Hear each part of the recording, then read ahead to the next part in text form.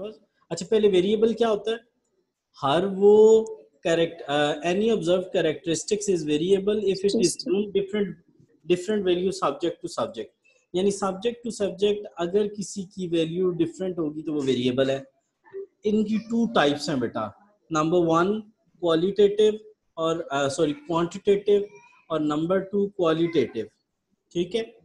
अच्छा मैं अगर कहूँ कि एक ह्यूमन बीइंग है और उसका जो वेट है वो 80 केजी है तो वो क्वांटिटी है क्वांटिटी है बेटा। अगर मैं उसके बारे में कहूँ कि जी वो उसका जो कलर है वो बिल्कुल वाइट है या ब्लैक है ठीक है? क्वालिटी क्वालिटी है बेटे ठीक है? उसकी हाइट इतनी है ठीक है? तो ये वो टॉल है या वो स्मॉल उसका साइज़ स्मॉल है तो वो बेटा क्वालिटेटिव है क्वालिटियाँ हैं उसकी ठीक है? वो अच्छा बोलता है वो अच्छा स्पीकर है तो क्वालिटी है ठीक है? तो a variable is called quantitative variable if it assumes only numbers अगर अगर वो नंबर्स की सूरत में होगा न्यूमेरिकल होगा तो वो क्या होगा? क्वांटिटेटिव होगा। ठीक है? और अगर उसमें क्या होंगे? बेटा कैरेक्टरिस्टिक्स होंगी। अगर वो किसी चीज़ की क्या बताएगा? कैरेक्टरिस्टिक्स बताएगा तो तो फिर क्या बताए क्वालिटेटिव होगा। खसूसियात बताएगा तो बेटे क्या होगी? क्वालिटेटिव होगा और अगर नंबर्स में बताएगा नंबर उसके बारे में बताएगा तो वो क्या होंगी? बेटे क्वांटिटेटिव होगा। अब ये जो है ना, ये जो, ये वाले हैं क्या इसे कहते हैं बेटा? क्वांटिटेटिव ये आगे टू टाइप्स के हैं।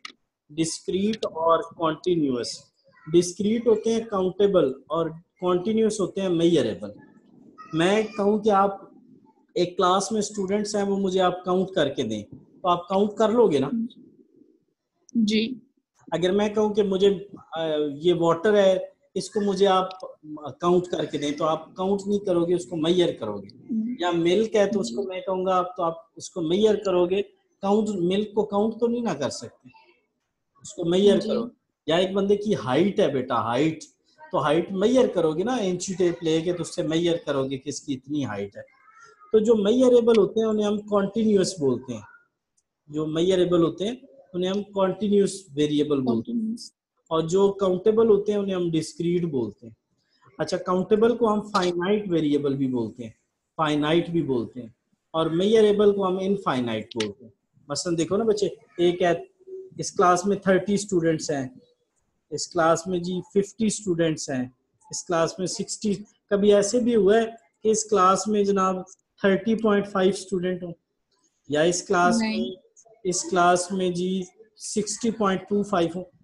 मिल्क अब दूध तो हो सकता है कि 60 लीटर और 25 आगे बेटा, यानी एक पाव, पॉइंट टू फाइव एक पाव पाव को बोलते हैं ना, हाफ़ लीटर को बोलते हैं, हाफ़ लीटर को बोलते हैं, पॉइंट टू फाइव। वो तो हो सकता है। तो कॉन्टिन्यूस वो होते हैं जो पॉइंट्स की सूरत में होते हैं। और डिस्क्रीट वो होते हैं जो पूरा पूरा नंबर्स होते हैं thirty forty fifty sixty thirty से समझ आ गई बेटा? जी जी। जो काउंटेबल होते हैं जो फाइनाइट होते हैं उन्हें डिस्क्रीट बोलते हैं और ये उनकी एग्जांपल्स हैं। जो मेयरेबल होते हैं इनफाइनाइट होते हैं उन्हें कॉन्टिन्यूस बोलते हैं और वो पॉइंट्स में होते हैं ये उनकी एग्जांपल्स हैं। नेक्स्ट बेटा क्वालिटेटिव हमने पढ़ लिया जो करेक्टरिस्टिक्स को रिप्रेजेंट करते हैं वेरिएबल्स उनको हम क्या बोलते हैं? क्वालिटेटिव वेरिएबल क्वालिटेटिव ठीक है? अब क्लासिफिकेशन क्या है? क्लासिफिकेशन क्या है? बाज लोगों में कुछ रिजेम्बलेंस होती हैं उनकी बेस पे हम उनको डिफरेंट ग्रुप्स में डिवाइड करते हैं इस प्रोसेस को क्लासिफिकेशन बोलते हैं।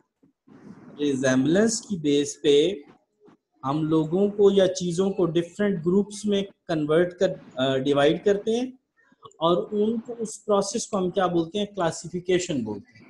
वो प्रोसेस जिसमें हम किसी ख़ास रिजेम्बलेंस की बेस पे डिफरेंट ग्रुप्स को आ, उनको डिफरेंट ग्रुप्स में डिवाइड करते हैं उस डेटा को उसको हम क्या बोलते हैं? क्लासिफिकेशन मसलन। जो बच्चे जिनकी एज फाइव से टेन ईयर है, वो ग्रीन कलर के कपड़े पहन के आएँगे। जो बच्चे जिनकी एज टेन टू फिफ्टीन है, वो रेड कलर के कपड़े पहन के आएँगे। तो जो बाकी नेक्स्ट इससे ऊपर वाले हैं, वो येलो पहन के आएँगे। देखो बेटा, उनमें रिजेम्बलेंस क्या थी एज उन बच्चों में क्या रिजेम्बलेंस है? एज एज उनके हमने डिफरेंट ग्रुप्स बना लिए उनके डिफरेंट ग्रुप्स बना लिए यानी टेन टू फिफ्टीन का एक ग्रुप फाइव टू टेन का एक ग्रुप और उसकी और उसकी बेस पे हमने इस प्रोसेस को क्या बोलेंगे क्लासिफिकेशन बोले। क्लासिफिकेशन समझ आ गई ना बेटा? जी। रिजेम्बलेंस की बेस पे डिफरेंट ग्रुप्स बना लेंगे उसको हम क्लासिफाई अच्छा मेरा बेटा ये computer is near to die ठीक है दो चीज़ें रह गई हैं बस वो बता के मैं खत्म करता हूँ। टेबुलेशन क्या है? जी। जब ये बेटा क्लासेस बन जाएँगी ना तो हम इस डेटा को जब ये क्लासेस बन जाएँगी जो हमने क्लासेस डिसाइड कर ली हैं उसकी बेस पे हम इस डेटा को टेबल में डालेंगे। टेबल बना के तो टेबल में डालने को क्या बोलते हैं? टेबुलेशन टेबल में डालने को टेबुलेशन बोलते हैं। अच्छा इस टेबल की एक फॉर्म है frequency distribution tabular arrangement of data into different classes prepared on the base of the prepared on the base of the magnitude of, with corresponding frequencies. अच्छा इसके लिए मैं ये आपको पहले एक बता देता हूँ। बेटे ये देखो। जी। आ, एक एक मैं टेबल आपके सामने बनाता हूँ।